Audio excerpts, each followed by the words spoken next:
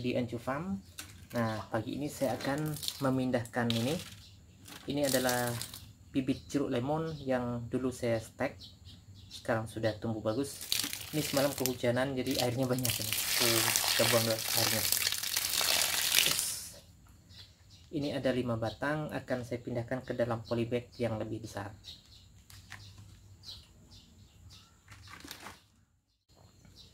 Nah ini jeruk lemonnya teman-teman Ini umur 2 bulan setelah saya stek Dulu saya stek 6 batang dan tumbuh 5 Satunya gagal. Bagus-bagus daunnya. Subur banget. Dan perakarannya juga sudah sangat bagus. Nih sudah keluar akarnya. Nah ini banjir semalam hujan deras. Ini kan tidak pakai atap jadi banjir.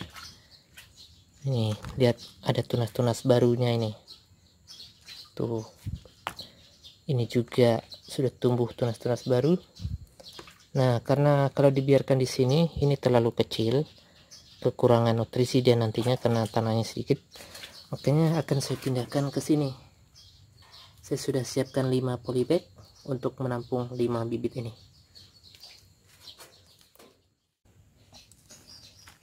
Nah untuk melakukan pemindahan karena ini akarnya sudah ada dan kalau kita cabut akan lepas dia.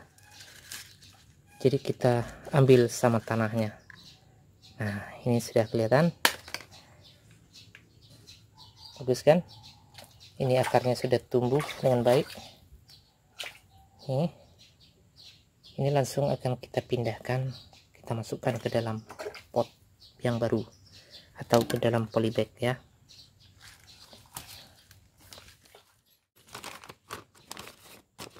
caranya ini bagian tengah kita kasih lubang sedikit ya untuk menaruh ini tanamannya. Ini langsung kita masukkan ke tengah sini. Oke. Nah segitu dulu.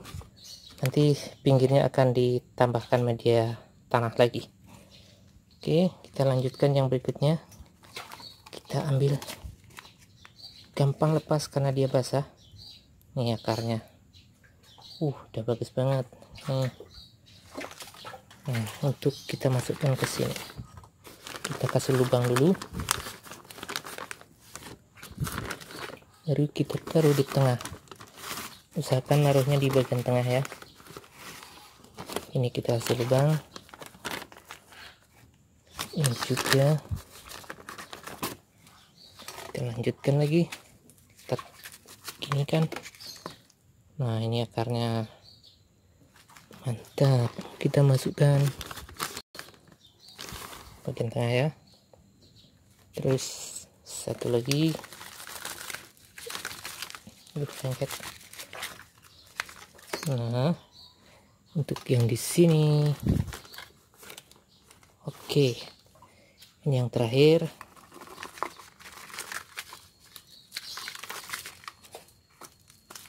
oke. Untuk yang ini. Ini polybagnya agak besar yang ini. Karena tadi yang kecilnya sudah habis. Oke.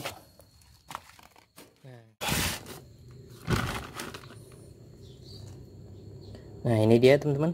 Sudah kita pindahkan ke dalam polybag semua. Cuman di pinggirnya masih banyak rongga-rongga. Nih. Dan ini harus diisi dengan tanah. Saya sudah siapkan tanahnya ini isi kita gunakan tangan aja biar gampang. Kita isi di pinggir-pinggirnya biar dia padat.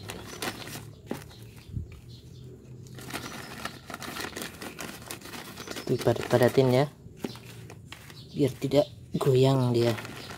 Nanti kalau goyang takutnya perakarannya terganggu. Ini lagi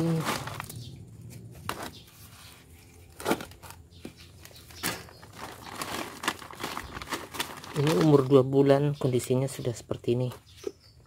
Bagus banget. Dan biasanya kalau di stek pucuk seperti ini dalam umur satu tahun dia sudah berbuah. Berdasarkan pengalaman saya dengan stek yang sebelumnya ya.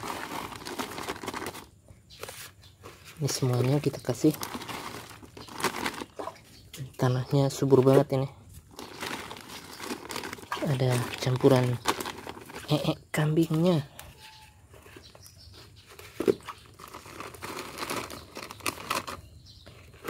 Nanti rencananya saya akan bikin lagi stek yang lebih banyak lagi. Siapa tahu ada yang berminat. Berminat jadi mitra. Mitra penyaluran bibit jeruk lemon. Bisa hubungi saya oke kita masukkan yang sini. Ternyata gampang banget teman-teman untuk membibitkan jeruk lemon itu. Dan saya pikir untuk jeruk-jeruk yang lain ya perlakuannya sama seperti ini. Tidak jauh beda saya pikir. Cuman saya mau mencobanya saya tidak punya bibitnya untuk indukannya ya. Itulah saya pengen coba jeruk sankis sebenarnya. Tapi tidak punya bibitnya. Hmm. nah ini jangan lupa diratakan pinggirnya dipadatkan. Padatkan biar dia tidak goyang.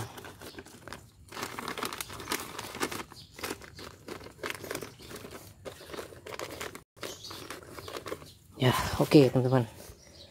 Ini dia bibit jeruk lemon hasil stek pucuk yang dulu saya buat dengan stek sungkup ya dan berhasil dengan baik. Ini sudah berusia dua bulan. Kondisinya sangat-sangat bagus. Daunnya sudah banyak.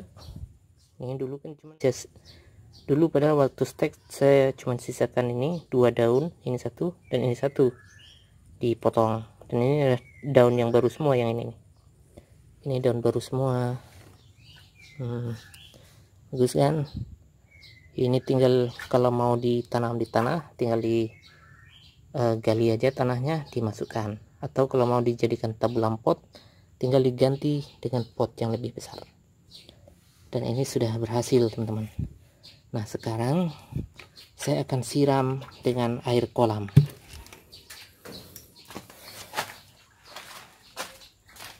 Sini saya punya kolam ikan saya ambil airnya di sini.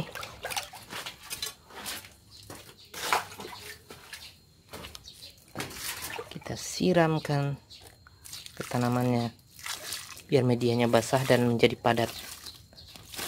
Kan tadi masih belum begitu padat karena baru dengan disiram dia akan memadat ya.